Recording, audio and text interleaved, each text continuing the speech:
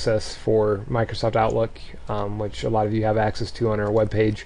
Um, you can go ahead and uh, and add a signature to that also. Um, right now, the way I showed previously is how to create a signature using Outlook. So the first thing I'm going to do is go to my uh, email on the the web access. So I'll go on the web access, go ahead and log in. Um,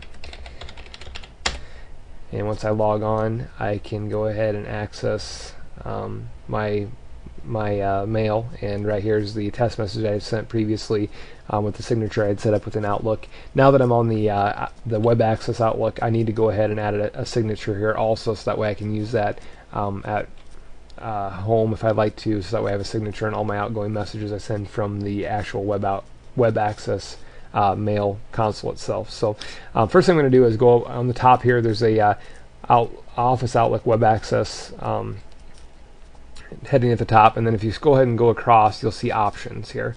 I'm going to close out of this real quick. Add reminder, and then uh, go to options. And from within the options, there's a lot of different things that might come up.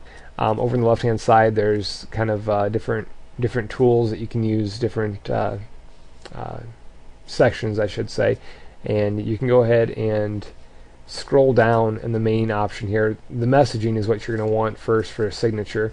And over in the middle side of the window or the right side of the window, you'll see message options um, to tell you to play a sound, different things. And then right below that, you'll see email signature.